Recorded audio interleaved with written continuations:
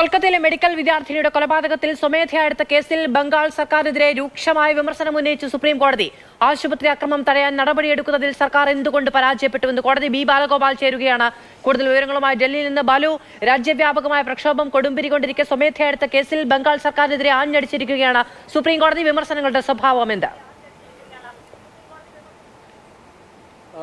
സ്വമേധയെടുത്ത കേസിൽ സുപ്രീം കോടതിയുടെ ഭാഗത്ത് നിന്ന് ശക്തമായ ഇടപെടലാണ് ഉണ്ടായിരിക്കുന്നത് അതിൽ ഏറ്റവും പ്രധാനപ്പെട്ട കാര്യം ഈ കൊൽക്കത്തയിലെ ഈ മെഡിക്കൽ വിദ്യാർത്ഥി വിദ്യാർത്ഥിനി യുവ ഡോക്ടറുടെ ബലാത്സംഗ കൊലയെ സംബന്ധിച്ചുള്ള അന്വേഷണ തൽസ്ഥിതി റിപ്പോർട്ട് സമർപ്പിക്കാൻ വേണ്ടി സി ബി ഐക്ക് സുപ്രീം കോടതി നിർദ്ദേശം നൽകിയിരിക്കുന്നു എന്നതാണ് വ്യാഴാഴ്ചക്കകം ഈ വ്യാഴാഴ്ച ഈ കേസ് പരിഗണിക്കുമ്പോൾ അന്വേഷണ തൽസ്ഥിതി റിപ്പോർട്ട് കോടതിക്ക് നേരിട്ട് കൈമാറുവാനാണ് സി ബി ഐയോട് ഇപ്പോൾ സുപ്രീം കോടതി നിർദ്ദേശിച്ചിരിക്കുന്നത് ആ റിപ്പോർട്ട് ലഭിച്ചതിന് ശേഷമായിരിക്കും സുപ്രീം കോടതിയുടെ തുടർ നടപടികൾ എന്നാണ് ചീഫ് ജസ്റ്റിസ് ഡി വൈ ചന്ദ്രചൂഡിന്റെ അധ്യക്ഷതയിലുള്ള ബെഞ്ച് നിരീക്ഷിച്ചിരിക്കുന്നത്. ഇതിനു പുറമെ ഈ രാജ്യവ്യാപകമായി ഡോക്ടർമാർക്കെതിരെ നടക്കുന്ന അക്രമങ്ങൾ തടയുന്നതിനെ സംബന്ധിച്ച് ശുപാർശകൾ തയ്യാറാക്കുന്നതിന് ഒരു ദേശീയ കർമ്മ സമിതിക്ക് സുപ്രീം കോടതി നിർദ്ദേശം നൽകുകയും ചെയ്തു.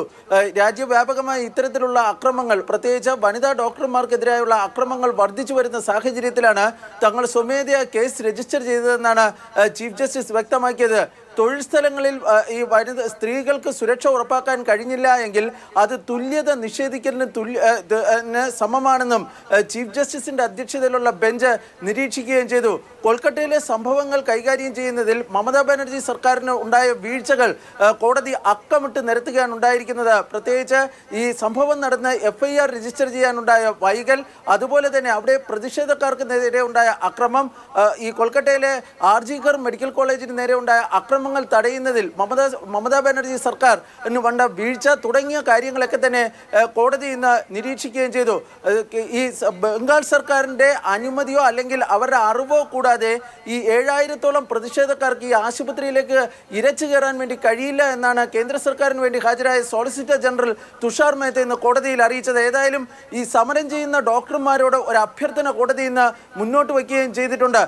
ഈ ഡോക്ടർമാരുടെ സുരക്ഷ ഉറപ്പാക്കാൻ കോടതി ഉണ്ട് എന്നും അക്കാര്യത്തിൽ അതുകൊണ്ട് തന്നെ കോടതിയെ അവർ വിശ്വസിക്കണമെന്നുമാണ് chief justice D Y Chandrachud ഇന്ന് ഡോക്ടർമാരോട് അഭ്യർത്ഥിക്കുകയും ചെയ്തിരിക്കുന്നത്. ഈ ഈ ഇതുമായി ബന്ധപ്പെട്ട് അതായത് ശക്തമായ നടപടികൾ കോടതിയുടെ ഭാഗത്ത് നിന്ന് ഉണ്ടാകുമെന്ന സൂചനയും കോടതി നൽകുകയും ചെയ്തു. വ്യാഴാഴ്ച ഈ കേസ് പരിഗണിക്കുമ്പോൾ സി ബി ഐയുടെ അന്വേഷണ തൽസ്ഥിതി റിപ്പോർട്ട് പരിശോധിച്ചതിന് ശേഷമായിരിക്കും തുടർ നടപടികൾ ഉണ്ടാകുക എന്നാണ് ചീഫ് ജസ്റ്റിസിന്റെ അധ്യക്ഷതയിലുള്ള ബെഞ്ച് ഇപ്പോൾ വ്യക്തമാക്കുകയും ചെയ്തിരിക്കുന്നത്. ഒൻപതാം തീയതി അത്തരത്തിൽ ഒരു തൽസ്ഥിതി റിപ്പോർട്ട് സമർപ്പിക്കണം എന്നുള്ളതാണ് കോടതി ഇപ്പോൾ ആവശ്യപ്പെട്ടിരിക്കുന്നത്. നാഷണൽ ടാസ്ക് ഫോഴ്സ് രൂപീകരണം അടക്കമുള്ള കാര്യങ്ങൾ കോടതി മുന്നോട്ട് വെച്ചിട്ടുണ്ട്. തൽക്കാലം കോടതിയെ വിശ്വസിക്കണം. ഈ സമരത്തിൽ നിന്ന് പിന്നോട്ട് പോകണമെന്ന് അടക്കം ഡോക്ടർമാരോട് ആവശ്യപ്പെടുകയും ചെയ്തു. തുഷാർ മേത്ത വലിയ വിമർശനമാണ് കോടതിക്ക് മുൻപാകെ ബംഗാൾ സർക്കാരിനെ പറ്റി ഉന്നയിച്ചിരിക്കുന്നത്. ഏഴായിരത്തോളം പ്രതിഷേധക്കാർക്ക് സർക്കാരിന്റെ അറിവോ സമ്മതവും ഇല്ലാതെ ആശുപത്രിയിലേക്ക് ഇരച്ചു കയറാൻ കഴിയില്ല എന്നുള്ളതാണ് അദ്ദേഹം ഉന്നയിച്ചിരിക്കുന്ന വാദം. ബി ബാലഗോപാലാണ് വിവരങ്ങൾ നൽകിയത്.